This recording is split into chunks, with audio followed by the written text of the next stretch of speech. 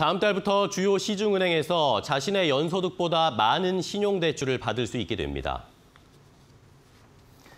금융권에 따르면 5대 시중은행과 인터넷 전문은행 K뱅크와 토스뱅크 등은 7월 1일자로 신용대출 최대 한도를 대출자의 연봉 이내로 제한하는 규정을 없애기로 했습니다. 이에 따라 KB국민은행의 경우 신용등급, 소득 등을 종합적으로 판단해 최대 연봉의 2배까지 신용대출을 내줄 예정입니다. NH농협은행은 다음 달 1일부터 개인 신용대출의 한도를 기존 10에서 100%에서 30에서 270%로 변경한다고 밝혔습니다.